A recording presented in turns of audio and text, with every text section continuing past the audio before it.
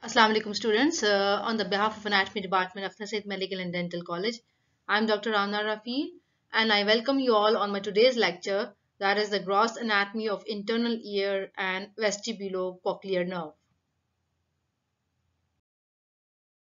So as we know uh, that uh, we have studied up till now that the ear uh, can be divided into an outer part, outer ear, the middle ear and the inner ear. So the inner ear is the innermost part of the ear and which houses the vestibulocochlear organs. That is uh, the sensory organ which is related to hearing and uh, equilibrium and balance of the body. And it lies within the petrous part of temporal bone over here. You see, this is the petrous part of the temporal bone. And what are the function of the internal ear is that it converts the mechanical signals from the middle ear into electrical signals and which can transfer information to the auditory pathway in the brain and to maintain the balance by detecting position and motion from the body. So uh, the uh, internal ear, uh, as I mentioned in my previous slide, that it lies in the petrous part of temporal bone over here. You see, so this is the middle cranial fossa, and this is the petrous part of temporal bone, and uh, this is the location of the inner ear. So it what it uh, consists of uh, this uh, inner ear also known as the labyrinth. It is uh, having a bony labyrinth and within the bony labyrinth lies the membranous labyrinth. So over here you see this is all bony part of the inner ear known as the bony labyrinth and within which lies the membranous part of the inner ear and that is known as membranous labyrinth. So this bony labyrinth uh, consisting of cochlea, vestibule and semicircular canal has a fluid which is known as perilymph then uh, deeper inside lies the membranous labyrinth and which has a fluid that is known as endolymph. So now we are going to discuss uh, the bony labyrinth, uh, the parts of the bony labyrinth uh, stepwise and then we're gonna do the parts of the membranous labyrinth stepwise. So the bony labyrinth as I mentioned earlier it's a series of bony cavities within the petrous part of temporal bone and it has three parts. So this is all bony labyrinth uh, the bony part of the inner ear that consists of this cochlea in the anterior, the most anteriorly placed cochlea. In the middle there is a vestibule and posteriorly lies the semicircular canals. So let's see individually in the parts of the bony labyrinth that is the cochlea that is the most anteriorly placed part of the bony labyrinth uh, of the inner ear and as you can see this is a, uh, it is just like a shape of a uh, shell of the snail and it contains cochlear duct and is concerned with the auditory pathway of internal ear. So this cochlea, bony labyrinth, part of the bony labyrinth, the cochlea is placed anteriorly and it contains the cochlear duct which has special specialized receptor cells known as organ of Corti which are related with the hearing. So what is a modiolus? So you see students over here, this is a central conical axis and that is known as modiolus around which the bony canals of the cochlea make two and three quarters turns. So the the bony canal of the uh, cochlea the it, it makes turns two and three quarter turns around a central conical axis over here you see and this central conical axis around which the cochlea is making turns is known as modiolus. This modiolus will be containing the blood vessels and the spiral ganglion and uh, uh, it uh, basically it providing a central axis around which the cochlea is making turns. Then spiral lamina, it's a spiral ridge of bone over here. You see, this is spiral lamina. This one is spiral lamina. This is a ridge of bone that projects from the modiolus and it divides this uh, cochlea, cochlear canal into two parts. So this is a section for this for this spiral lamina. You can uh, see from this diagram. This is a cochlea and a section has been taken uh, and a magnified image is being shown that this is the spiral lamina and this is all cochlear canal and this is spiral lamina which is a, a bony shelf like projection that divides this cochlear canal into an upper part which is known as scala vestibuli and a lower part known as scala tympani.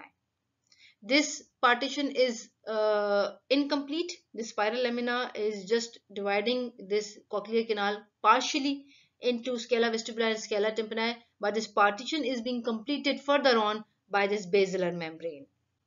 So the scala vestibuli uh, as we studied in the middle ear it uh, communicates uh, with the uh, uh, middle ear through fenestra vestibuli which was closed by footplate of stapes. These both scala, scala vestibuli and scala tympani uh, will be uh, communicating with each other at the apex of the cochlea over here at the center and that is known as helicotrema. So helicotrema is a central most point and uh, where the scala tympani and scala vestibuli will be communicating with each other. So let's see the middle part of the bony labyrinth after the cochlea that is the vestibule. So over here you see this is the inner ear and the and most anteriorly placed uh, structure is known as the cochlea.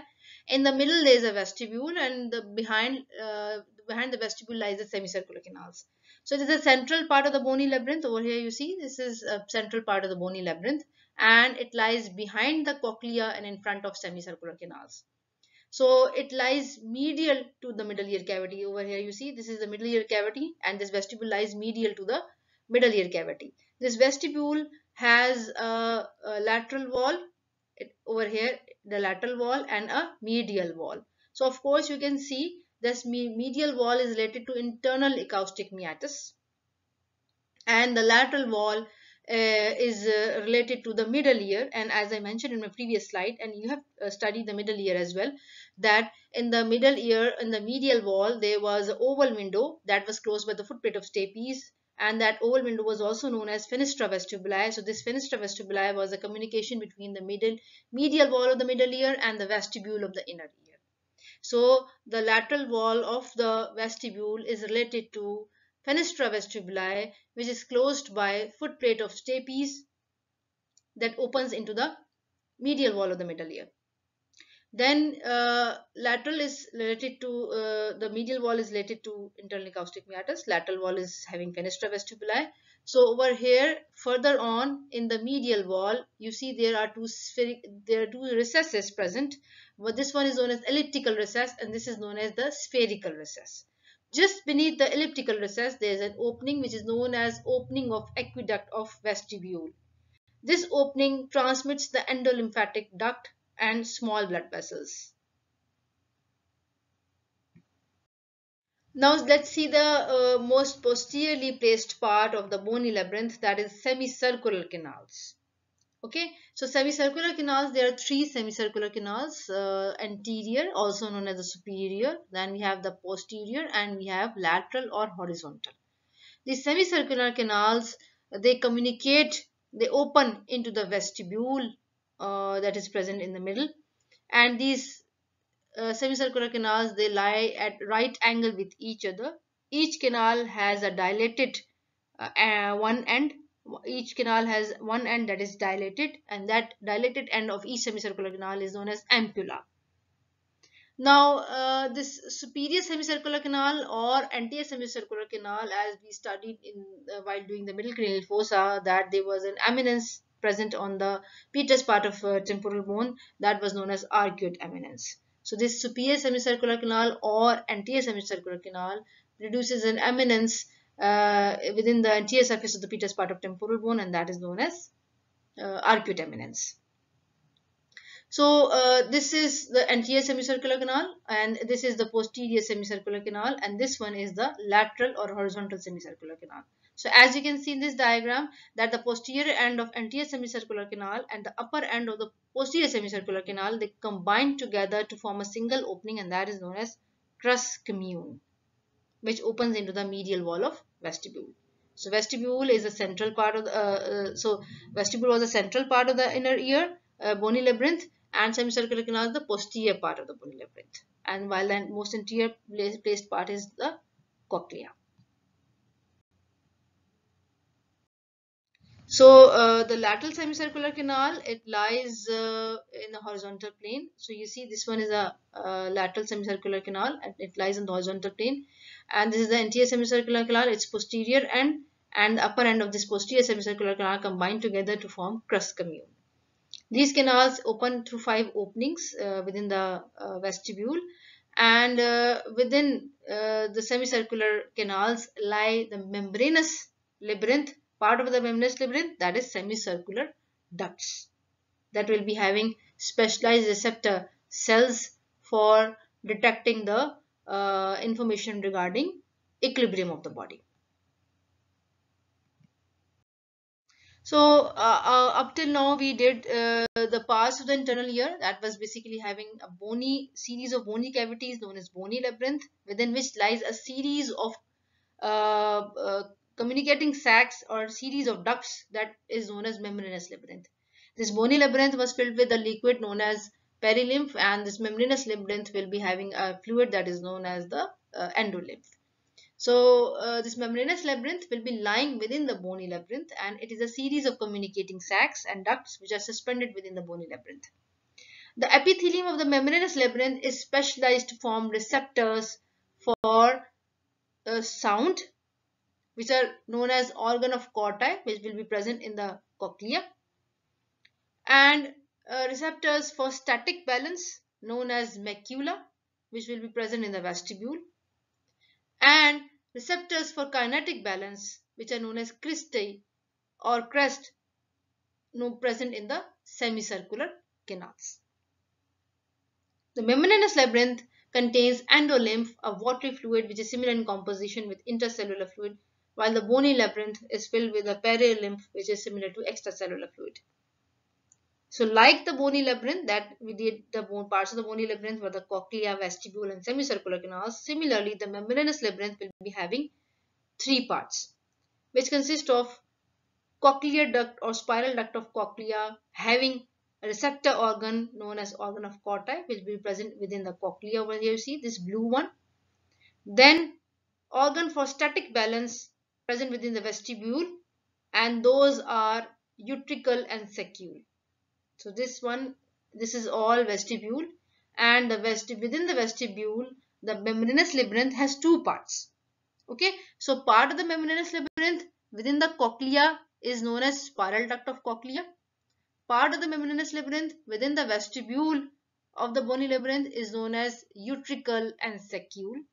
This saccule and utricle will be having special receptor cells which are related for static balance and those receptor cells are known as maculae. Then the semicircular ducts will be present within the semicircular canals. So you see this blue one are the semicircular ducts within the semicircular canals and their ampulla will be having specialized receptor cells which are responsible for maintaining the kinetic balance of the body and that receptor cells will be known as cristae. So now just similarly the way we did uh, the individual parts of the bony labyrinth that what is cochlea and what it has inside, uh, what is vestibule, what is semicircular canal. Similarly we'll be doing individually the parts of the membranous labyrinth. So first is the cochlear duct that is the part of the membranous labyrinth that lies within the bony cochlea. This is also known as scala media and this duct of cochlea is occupying the middle part of the cochlear canal between the scala vestibuli and scala tympani. We did that. There was a spiral uh, lamina, a bony uh, lamina, which is dividing this cochlear canal into two parts, scala vestibuli and scala tympani. So this membranous part of the uh, uh bony cochlea that is known as cochlear duct will be uh, enclosing in a triangular shaped space this cochlear duct will be lying in a triangular shape uh, space and that is known as scala media because it will be lying in the middle of vestibuli and tympani.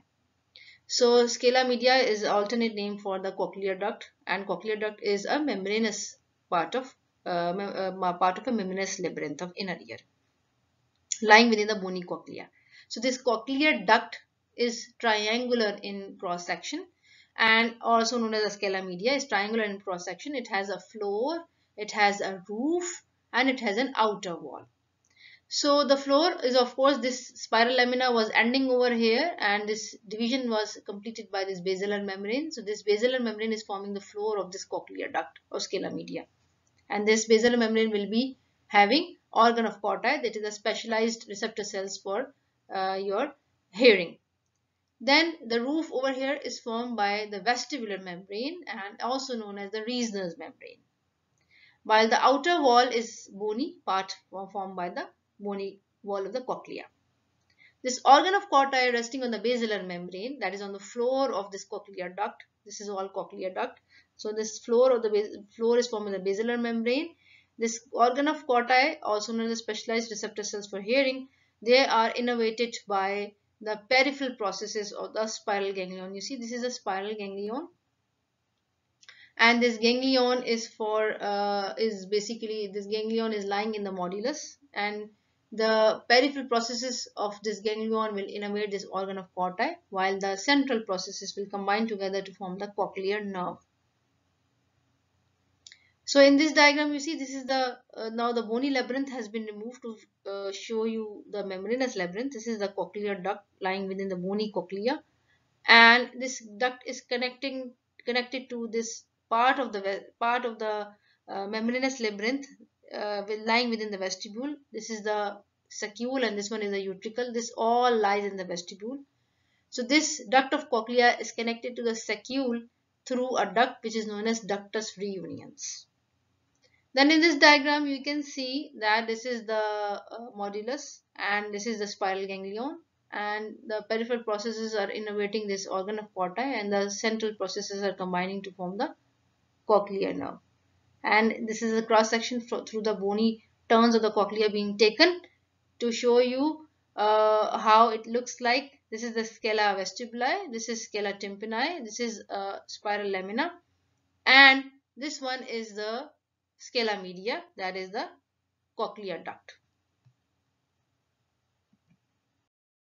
So this is another uh, diagram to show you uh, the basic uh, presentation how these are the turns of the bony cochlea and within which cochlear canal uh, this is uh, the scala vestibuli and this one is the scala uh, tympani and within which runs the scala media in which the cochlear duct is running and this is the spiral lamina you see. This spiral lamina is uh, dividing into the cochlear canal into scala vestibuli and scala tympani. And within which a triangular shaped uh, structure is present known as scala media that is the cochlear canal. And the roof is formed by the vestibular membrane or Reissner's membrane and the floor is formed by the basilar membrane and the outer wall is formed by the bony cochlea.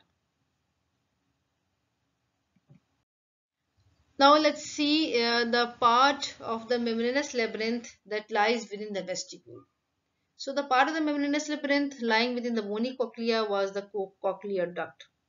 Now the part of the membranous labyrinth that lies within the vestibule are two in number, anteriorly saccule and posteriorly the utricle.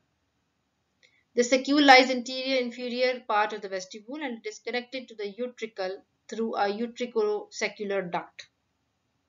And the saccule is also connected to the cochlear duct through ductus reuniens. Utricle is larger and lies behind the saccule and it receives you see it receives this utricle is receiving this semicircular ducts posteriorly. The duct of the saccule unites with the duct of the utricle to form a ductus endolymphaticus over here you see the duct from the uh, utricle and duct from the saccule they are combining together to form a ductus endolymphaticus which ends at as a dilatation and that is known as saccus endolymphaticus the floor of the utricle and medial wall of the saccule get thickened over here to form a macula. So the uh, that is not being shown over here. Just you uh, you keep it simple that within the utricle and within the saccule will be lying the specialized receptor organs which are which is known as macula and this macula will be responsible for receiving information regarding maintaining of static balance of the body. So this uh, saccule and utricle is a part of membranous labyrinth that lies within the vestibule. This utricle uh, saccule is combined with this duct of uh, utricle through ductus endolymphaticus and this saccule is also connected with the cochlear duct through ductus reuniens and this utricle is also receiving the three uh, uh, semicircular ducts posteriorly and the specialized receptor organs uh, which are present within the utricle and saccule uh, is known as macula and they are responsible for the static balance.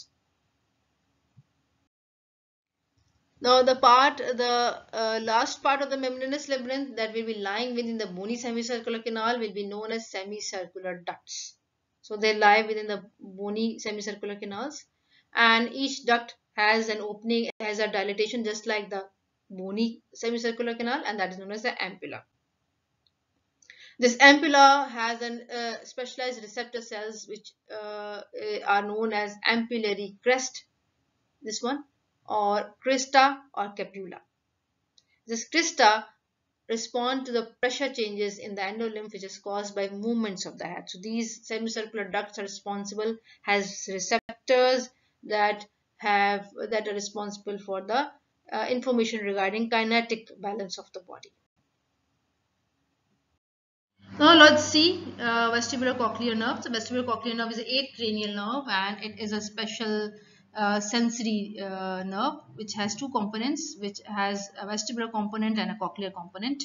So the vestibular part will be uh, conveying impulses regarding uh, the balance of the body uh, with the position and movements of the head and the cochlear part will be responsible for the impulses associated with the hearing. So the vestibular and cochlear parts they leave uh, the ventral surface of the brain, brain stems with the pontomedullary junction and they run laterally in the posterior fossa to enter the internal acoustic meatus along with the seventh nerve. So here in this diagram you see this is the vestibular component, this is the cochlear component, they combined form vestibular cochlear nerve and uh, which runs within the internal acoustic meatus. So the course of the vestibular cochlear nerve, uh, you see this vestibular nerve originates from the uh, it originates from the pontomedullary junction so this is the pons and the medulla, arises from the pontomedullary junction and enters into the internal acoustic meatus. And its branches supply the sensory receptors for the equilibrium in the uh, semicircular class, that is the crista, and within the uh, macula of vesti uh, macula of saccule and utricle.